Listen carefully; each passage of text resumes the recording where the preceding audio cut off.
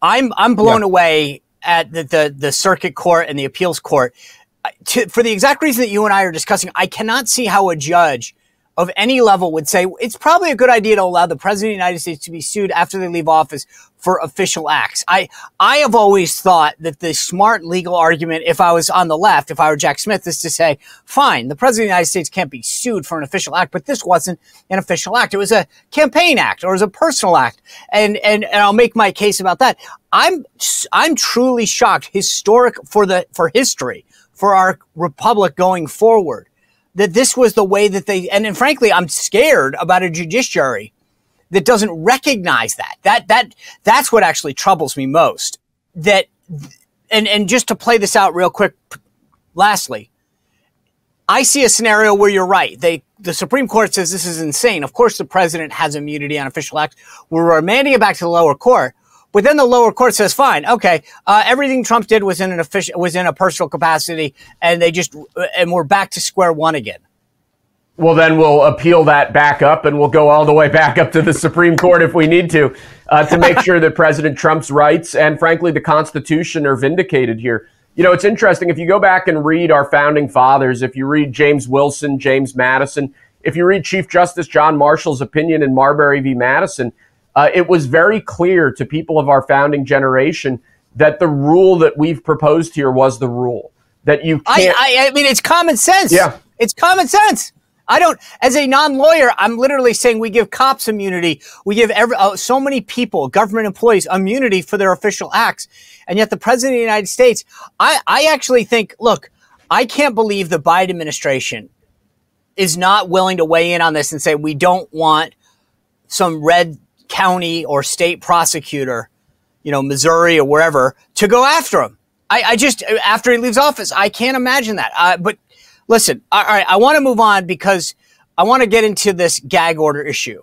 What started in New York has now moved down to Florida. I mean, maybe they just, it's joking, but it's, I was trying to think of a funny joke about moving to Florida, but it's the gag order, so I won't. Listen, Trump, as I see this, is being prosecuted for the uh, the the classified documents that he kept at Mar-a-Lago.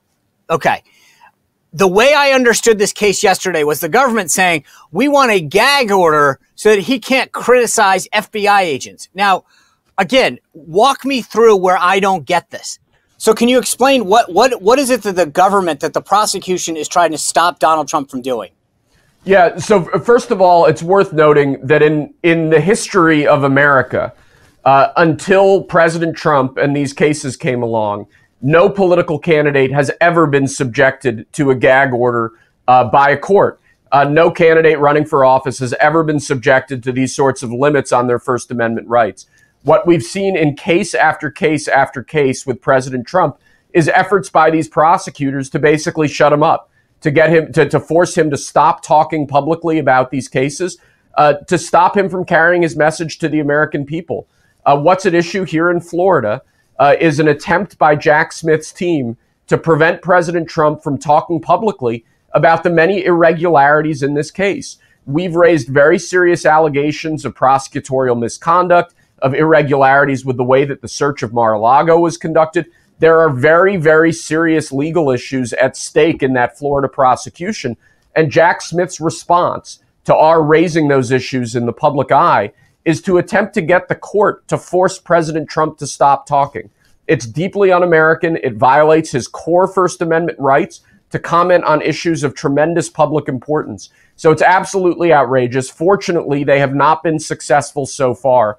They rushed this attempt at a gag order into court late on a Friday night while we were actually in trial in New York. Uh, we've beaten back their attempt so far, and I think they're going to be unsuccessful for the simple reason that there's no basis in the law to prevent President Trump from talking about this stuff.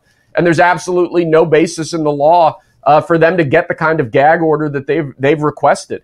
Uh, so again, it's just it's another uh, another front in this fight uh, against this Biden campaign of lawfare. Where not only are they dragging President Trump into court, but they're trying to prevent him from talking about how outrageous all of these cases are. But is there something I'm missing that was in the filing? Like as I said, like as a layperson, I'm watching back, and they're saying he can't attack the FBI, and I'm like, why? Like, what, what, what is it? I mean, in the New York case, I, I thought it was wrong, right? But I think that politically and PR wise, I got it. You can't attack the jury. And I think the average person's like, oh, okay, you can't attack the jury because uh, we don't want to influence them or intimidate them. In this case, I was like, I don't get it. Like, why? What? What? What? What threat is the FBI like running around? Like, I'm scared of Donald Trump. Like, oh my gosh, he's going to attack. Like, I didn't understand their the rationale. What? What did I miss, if anything? That that made this happen. It felt like, to your point, Jack Smith was like somebody come up with something quick to get into court Friday night. Yeah, and I mean, it's worth noting that the FBI agents at issue have been anonymized. We've agreed to that. So their names aren't public. It's not like President Trump is singling out individual FBI agents. Uh, what he's talking about is how irregular this raid of Mar a Lago, which was conducted by the FBI, was. And I think it's his core First Amendment right to comment sure. on this issue of tremendous public importance. So there's there's no basis for this. There's no actual security concern uh, with respect to individual FBI agents. President Trump is just commenting on documents that are now public, including the search warrant of Mar-a-Lago, the terms on which it was conducted, and the way that it was conducted, which is absolutely his right. With respect to the New York gag order, we had this crazy situation where you had witnesses like Michael Cohen and Stormy Daniels going on TV every night just lying about President Trump. Uh, and Judge Merchan prevented President Trump from correcting the record, from speaking publicly uh, just to refute their claims. Uh, Judge Merchan prevented President Trump from talking publicly about things that we'd said in public court filings, uh, like the fact that we believe Judge Merchan was irretrievably conflicted uh, based on his history as a Biden donor and his his daughter's work as one of the top Democrat fundraisers in the country. I mean, it's really important to understand what's going on here, which is an attempt by these left wing prosecutors to prevent President Trump from pointing out to the American people how irregular the prosecutions against him are and how absurd all of these different cases are on their face and and that to me that's just it's deeply violative of constitutional norms and president trump's constitutional rights. See this goes back to the karoline leavitt thing that i was telling you about right? She didn't attack jake tapper. She said google him. And and and yet cnn called that an attack. And this is the same thing. We're explaining to people the process by which your home was raided or in the case of, of the New York case, saying, hey, the judge's daughter represents a bunch of clients that are making millions off the verdict is a fact. Those aren't yeah. attacks. And I think where the left is beating us is is what I always talk about the words, right? They're they're sort of redefining what an attack is.